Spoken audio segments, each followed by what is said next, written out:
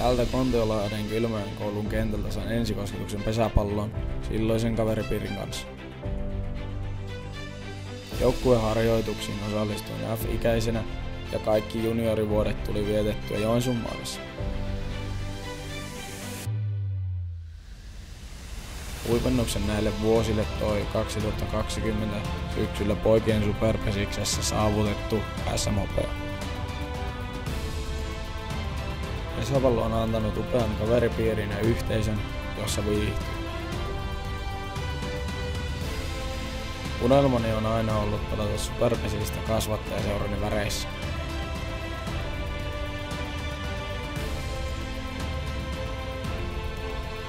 Moi, me on just Niemeläinen.